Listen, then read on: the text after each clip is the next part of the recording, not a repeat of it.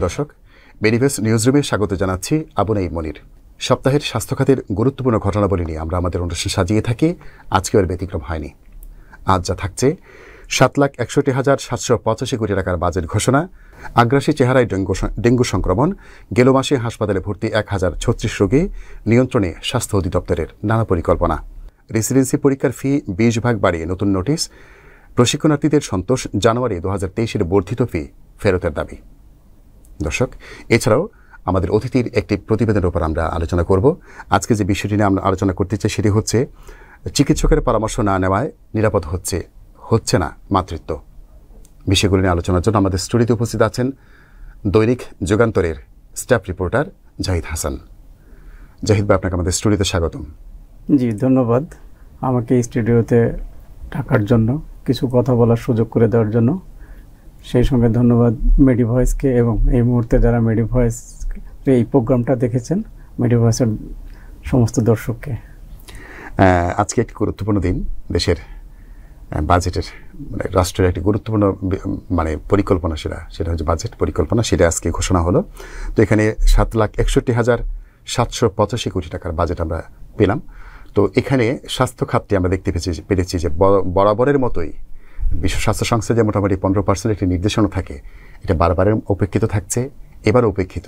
আপনি আসলে কি বলবেন এই বিষয়গুলো নিয়ে? দেখুন, বাজেট একটা দেশের গণতান্ত্রিক দেশের চালিকা শক্তি।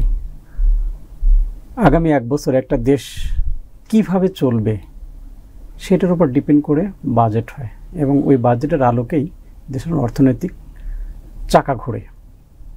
আর মৌলিক অধিকার যদি বলি মৌলিক অধিকারের অন্যতম অধিকার হচ্ছে স্বাস্থ্য। স্বাস্থ্য অধিকার। স্বাভাবিকভাবেই স্বাস্থ্যের বাজেটটাও মৌলিক অধিকারের মতোই হওয়া উচিত যাতে মানুষের মৌলিক অধিকারটা পূর্ণ হতে পারে পূর্ণ না হয়। এখন চলতি অর্থ বছর যেটা আজকে শেষ হবে যে বাজেটটা ছিল কোভিড এবং কোভিড পরবর্তী সময়ে কম্পারেটিভলি একটা ফিগার ছিল। কিন্তু এই যে আমরা মাঝখানে করোনা কাল কাটালাম। আবার দুই হাজার সালের পর থেকে ডেঙ্গির সাথে যুদ্ধ করছি। এছাড়াও বিভিন্ন ধরনের সংক্রামক এবং অসংক্রামক রোগের আমরা প্রায় প্রতি বছরে মুখোমুখি হচ্ছি। সেটা বৈশ্বিকভাবে হচ্ছে বাংলাদেশেও হচ্ছে। এর প্রভাব বাংলাদেশে খুব বেশি পড়ছে। এবং আগামীতে যে এই ধরনের সংক্রামক এবং অসংক্রামক রোগ ব্যাধিগুলো মাথাচাড়া দিয়ে উঠবেন এটা কিন্তু নিশ্চিতভাবে বলা যাচ্ছে না। বলা যাচ্ছে না। সো স্বাস্থ্য খাতে যদি চাহিদা মোতাবেক বাজেট না হয় সেক্ষেত্রে আগামীর যে মোকাবেলাটা স্বাস্থ্য খাতের সেটা অনেকটা চ্যালেঞ্জ হয়ে দাঁড়াবে। বাজেটের একটা অংশ তো স্বাস্থ্য খাত ফেরত দেয়। ফেরত দেয়। কিন্তু ফেরত দেওয়ার বিষয়টা ফ্যাক্টর না। অনেক কিছু বিষয় আছে যেখানে বিনিয়োগ দরকার সেখানে বিনিয়োগ আমরা দিতে পারছি না সে জায়গায় মনোযোগ আমরা দিতে পারছি না। এই জায়গায় কিছু অব্যবস্থাপনা রয়ে গেছে। আবার ফেরত যে দিচ্ছে অনেক মানে দপ্তর আছে যারা ওটা যে কোনো একটা আয় ব্যয়ের হিসাব দেখায় দিচ্ছে, কিন্তু সেই জায়গায় যে আবার স্বাস্থ্য খাদ্য ফেরত দিচ্ছে, এটাকে পজিটিভলি ধরতে হবে। তবে হ্যাঁ এইটা আমি মনে করি যে না যাওয়াটাই উচিত। কেন উচিত? স্বাস্থ্যখাতের অনেক দিক রয়েছে, সেসব জায়গায় মনোযোগ দেওয়া। ইনফ্রাস্ট্রাকচার ইনফ্রাস্ট্রাকচার ডেভেলপমেন্টের পাশাপাশি এখানে গবেষণা, রোগী ব্যবস্থাপনা, রোগ ব্যবস্থাপনা সব কিছু মিলায় যদি এই বাজেটটাই কাজে লাগানো যায় এবং আরও বেশি অ্যালোকেশন করা যায় এবং সেটাও যদি প্রপারলি ইউজ করা যায় জি। আমার মনে হয় স্বাস্থ্যখাত আরও আগায় যাবে। আপনি জানেন যে আমাদের ডেঙ্গুটা গত বছর যেভাবে আমাদেরকে হানা দিচ্ছিল সেভাবে এর এর- এবার কিন্তু মোটামুটি আগ্রাসী একটা চেহারা আমরা দেখতে পাচ্ছি। মোটামুটি স্বাস্থ্যমন্ত্রী বলেছেন যে পাঁচ গুণ বেশি রোগীর ফ্লোটা এ দেশে। তো এই পরিস্থিতিতে ইতিমধ্যে গত মাসেই শুধুমাত্র এক হাজার ছত্রিশ জন রোগী ভর্তি হয়েছে হাসপাতালে এবং এই সেশনে মোটামুটি আমরা যত জানতে পেরেছি তেরো জন মানুষ মারা গেছে সরকারি হিসেবে। তো স্বাস্থ্য অধিদপ্তর অনেক পরিকল্পনার কথা আমরা সেটাও শুনতে পাচ্ছি। তো সামগ্রিকভাবে যে সামালের বিষয়গুলো নিয়ন্ত্রণটা আসলে হাসপাতাল ব্যবস্থাপনা সবগুলো মিলে আপনি কীভাবে কেমন দেখছেন জিনিসটা? দেখুন ক্ষুদ্র একটা প্রাণী মশা। এই মশাবাহিত একটা রোগ ডেঙ্গু। সব ধরনের মশার মধ্যে এডিস যে মশা সেই মশাটা ডেঙ্গুর তৈরি করে। বলা হচ্ছে যে বাংলাদেশে দুই হাজার সাল থেকে ডেঙ্গু সংক্রমণটা ডে বাই ডে বাড়ছে। এর মাঝখানে কম বেশি হওয়ার পরে দুই হাজার উনিশ সালে একটা ম্যাসাকার পরিস্থিতি তৈরি হয়েছিল। একজন সিভিল সার্জন সহ অনেক চিকিৎসকের মৃত্যু হয়েছে। ওই সময় মৃত্যু হয়েছে যেটা দুঃখজনক। তারপরে কোভিডকালে কম্পারেটিভলি তুলনামূলকভাবে কম ছিল কিন্তু আবার এটা মাথা চাড়া দিচ্ছে। চলতি বছর যদি দেখি যে এই পাঁচ মাসেই এক হাজার প্লাস ডেঙ্গুতে আক্রান্ত হয়েছে এবং সরকারি হিসাব বলছে এক হাজার প্লাস গত মাসে। গত গত মাসে টোটাল হচ্ছে বাইশশোর মতো মানে দুই হাজার উপরে। এক্সাক্ট এবং এই চলতি এখন পর্যন্ত পাঁচ মাসে তেরো জন মারা গেছে এটা সরকারি হিসাব। বেসরকারিভাবে যে আরও যে মারা যায়নি এটা কিন্তু আমরা নিশ্চিতভাবে বলতে বলতে পারছি না। অবশ্যই মারা যেতে পারে। জি। এই যে পরিস্থিতি এই পরিস্থিতি সামাল দেওয়ার জন্য যে ব্যবস্থাপনা এটা বিভিন্ন মহল থেকে বলা হচ্ছে। এর সাথে এলজিআরডি মন্ত্রণালয় জড়িত আছে স্বাস্থ্য মন্ত্রণালয় আছে সিটি কর্পোরেশন আছে সিভিল সোসাইটি আছে সব মিলে আমরাও আছি। কিন্তু এই ব্যব- এত কিছু থাকার পরেও আমরা কিন্তু আসলে ব্যবস্থাপনার জায়গাটা খুব বেশি অগ্রগতি দেখতে পাচ্ছি না বা আমরা অগ্রগতি করতে পারছি না এটা কেন করতে পারছি না? এটা আমাদের সবারই কেমন দেখছেন হাসপাতালের চিত্রটা আসলে? আপনি যদি হাসপাতালে যান অ্যাজ এ স্বাস্থ্যবিটের রিপোর্টার হিসাবে প্রতিদিনই আমাকে এবং আমাদেরকে বিভিন্ন হাসপাতালে যেতে হয়। সেখানে যদি ডেঙ্গু রোগী ব্যবস্থাপনার কথা বলি হ্যাঁ ইতিমধ্যে স্বাস্থ্য অধিদপ্তর কিছু গাইডলাইন দিয়েছে। কিন্তু ওই গাইডলাইন অনুসারে মানে মাঠ পর্যায়ের যে ইমপ্লিমেন্টেশন যে বাস্তব বাস্তবায়নের বিষয়টা খুব বেশি নজরে এখনও পড়ছে না। মানে কীরকম আপনারা শূন্যতা পাচ্ছেন? স্বাস্থ্যমন্ত্রী বলেছে যে গতবারের তুলনায় পাঁচ গুণ আলটিমেটলি এইটা ছয় গুণ বা ক্ষেত্র বিশেষ তারও বেশি হচ্ছে। জি জি। কিন্তু এই যে বড় ধরনের একটা অ্যালার্মিং নিউজ জাতির সামনে একটা মন্ত্রণালয় থেকে নীতি নির্ধারণী মন্ত্রণালয় থেকে দিল তারপরের দিন থেকে যে ব্যবস্থাপনাটা হওয়া উচিত ছিল সেই ব্যবস্থাপনা যদি বলি যে আপনি যেখানে রুগী আছে আমি নিজে দেখেছি যে ডেঙ্গু রুগী আছে কিন্তু ডেঙ্গু রোগের জন্য যে প্রথম যে বিষয় একটা মশারি। জি জি। মশারি দেওয়া মানে হাসপাতাল হয়তো আছে রুগীও চাচ্ছে না কিন্তু ওইটা যে যে মানে উদ্যোগী হয়ে কর্তৃপক্ষ যে ব্যবস্থা করবে সেটা করছে না। হাসপাতাল আঙিনায় যদি দেখেন হাসপাতাল আঙিনা কিন্তু কোনো হাসপাতাল ওইভাবে মানে মশা মুক্ত থাকবে এরকম পরিবেশ কিন্তু নেই। নিশ্চিত করা হয় মশারি না দেওয়াতে যেটা হচ্ছে ওই যে রুগীকে আবার একটা সাধারণ মশা কামড়ে পাশের একজন রুগীকে কামড়াচ্ছে অন্য রোগে সেও ডেঙ্গু এফেক্টেড অর্থাৎ হচ্ছে। হাসপাতালে এসে চিকিৎসার জন্য এসে আবার সে আক্রান্ত হয়ে গেল। আবার সে আক্রান্ত আরেকজনকে। আক্রান্ত করছে।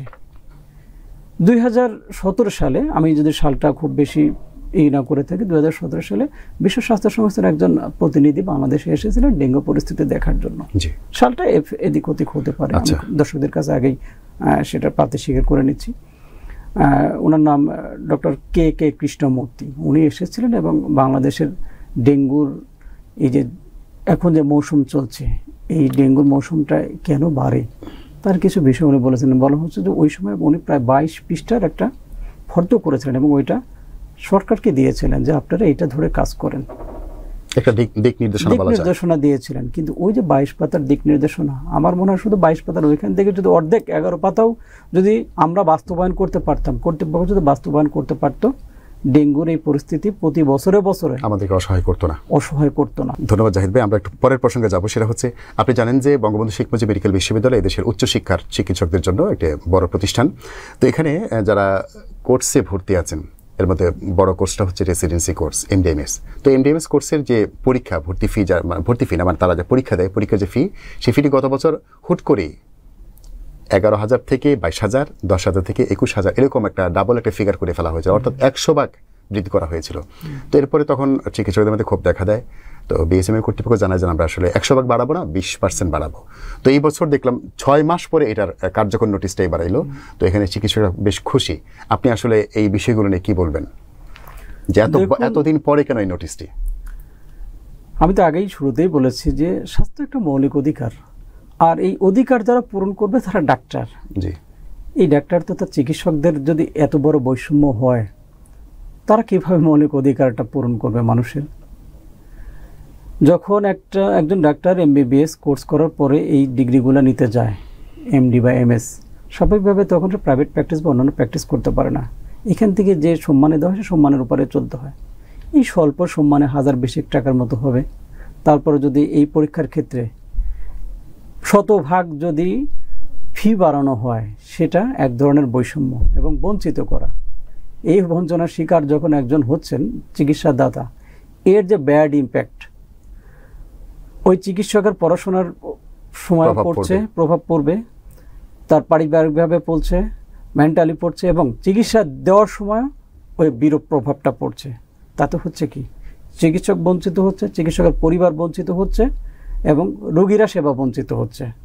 সো এই জায়গা থেকে যারা বিএসএমএমএ সহ এই ধরনের কোর্স যারা করাচ্ছে প্রত্যেকের এই জায়গায় নজর দেওয়া উচিত যে কাউকে বঞ্চিত না করে খুশি করে দেওয়া এবং বর্ধিত ফির কথা যে বললেন যে ছয় মাস পরে এটা তারা সমন্বয় করার চেষ্টা করেছে। কিন্তু ছয় মাস আগে যে সমন্বয় বলতে কি এখন যারা এইবার যারা পরীক্ষা দিবে জুলাই সেশনে যারা পরীক্ষা দিবে তাদের জন্য বিশ পার্সেন্টের হিসাবটা সামনে আসছে।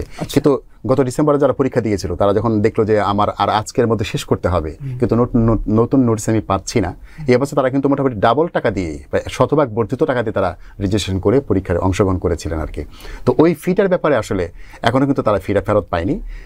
মানে এটা নিয়ে আসলে আপনার তরফ থেকে কি বলবেন? এইটা আমি মনে করি যে এটা আমার ব্যক্তিগত মতামত যে বিএসএমএম বিএসএমএমএ কর্তৃপক্ষের উচিত যারা অতিরিক্ত অর্থ দিয়েছে তাদেরকে ওইটা ফেরত দেওয়া অথবা আগামী কোর্সের ক্ষেত্রে ওইটাকে একটা ব্যালেন্স করে সমন্বয় করে নেওয়া। আমরা চলে যেতে আমাদের শেষ প্রসঙ্গে। আপনি যেটা একটা প্রতিবেদন করেছেন চিকিৎসকের পরামর্শ না নেওয়ায় নিরাপদ হচ্ছে না মাতৃত্ব। এই বিষয়টির একটা গুরুত্বপূর্ণ একটা টপিক আমরা মনে করি যে এখানে অনেকেরই সম্পৃক্ত হওয়ার ব্যাপার আছে। চিকিৎসক থেকে শুরু করে রাষ্ট্রযন্ত্র থেকে শুরু করে নাগরিক পর্যন্ত। আসলে কোন কোন বিষয়গুলো আপনি এখানে টেনেছেন? দেখেন উনিশশো দুই সালের মধ্যে যদি সাস্টেইনেবল ডেভেলপমেন্ট গোল অর্জন করতে হয়। সেক্ষেত্রে মাতৃ এবং শিশু মৃত্যু কমিয়ে আনার একটা টার্গেট আছে। সেই টার্গেট থেকে আমরা এখনও অনেক পিছায় আছি কিন্তু হাতে আমাদের সময় আছে আর কয়েকটা বছর। কিন্তু এখনও যে হারে হ্যাঁ মাতৃ মৃত্যু এবং শিশু মৃত্যু কিন্তু উন্নত হয়েছে কিন্তু এস এসডিজি গোল ফুলফিল করার জন্য যে দৌড়ে যে রানে আমাদের থাকতে হবে সেই জায়গায় কিন্তু আমরা পিছায় আছি। ডাব্লিউএস বলছে যে সুস্থ সন্তান প্রভাব সন্তান প্রসব স্বাভাবিক সন্তান প্রসবের ক্ষেত্রে সন্তান গর্ভধারণের আগে থেকেই একজন মা গর্ভধারণের আগে থেকে শুরু করে গর্ভধারণের শেষ পর্যন্ত আটবার করে চিকিৎসকের ফলো আপের চিকিৎসকের ফলো আপে যাবে। নীতি নির্ধারকরা বলার পরে যেটা হচ্ছে যে অনেকেই কিন্তু আমরা যাচ্ছি না মায়েরা যাচ্ছে না কিন্তু এইটা কিন্তু আমরা ওইভাবে নজরদারিতেও আনছি না। যার জন্য এখনও সিজার বাড়ছে এখনও বিভিন্ন ধরনের জটিলতা তৈরি হচ্ছে, মাতৃমৃত্যু হচ্ছে। বলা হচ্ছে যে বেসরকারি হাসপাতালে যারা যাচ্ছে তার আশি শতাংশ সিজারের করাতে হচ্ছে। কমিউনিটি ক্লিনিক থেকে শুরু করে পরিবার পরিকল্পনা অধিদপ্তরের মাঠ পর্যায়ে যে অ্যাক্টিভিটি সেখানে কিন্তু মিডওয়াইফ যেটা মিডওয়াইফের সংখ্যা এখন অনেক শর্টেজ রয়েছে, অনেক ঘাটতি রয়েছে। যত সময় পর্যন্ত এই মিডওয়াইফ এবং সংশ্লিষ্ট জায়গায় মানে চাহিদা মোতাবেক জনবল সরবরাহ করতে না পারবে তত সময় পর্যন্ত নিরাপদ মাতৃত্ব আমাদের জন্য চ্যালেঞ্জ হয়ে থাকবে। সো এই জায়গায় যদি আপনি গুরুত্ব দিতে পারেন নিরাপদ মাতৃত্ব তৈরি হবে নিরাপদ মাতৃত্ব বাড়বে শিশু এবং মাতৃমৃত্যু কমবে একটা সুস্থ জাতি সুস্থ জাতি গঠনে যেতে পারব। এগিয়ে যেতে পারব। ধন্যবাদ জাহিদ ভাই খুব চমৎকার করে বিষয়গুলো তুলে ধরার জন্য। ধন্যবাদ জানাচ্ছি আমাদের স্টুডিওতে কষ্ট করে উপস্থিত হওয়ার জন্য। ধন্যবাদ আপনাকে। ধন্যবাদ মেডি ভয়েসকে এবং ধন্যবাদ মেডি ভয়েসের দর্শকদেরকে যারা এই মুহূর্তে প্রোগ্রামটা দেখছেন এবং আমাকে এই প্রোগ্রামে ডাকার জন্য আমি আপনাদের প্রতি কৃতজ্ঞতা জ্ঞাপন করছি। প্রিয় দর্শক, দেখতে দেখতে অনুষ্ঠানের শেষ পর্যায়ে চলে এসেছি। আগামী সপ্তাহে এরকম আরও গুরুত্বপূর্ণ বিষয় নিয়ে আপনাদের সামনে হাজির হব। দেখার আমন্ত্রণ জানিয়ে আজকের মতো বিদায় চাইছি। আল্লাহ হাফেজ।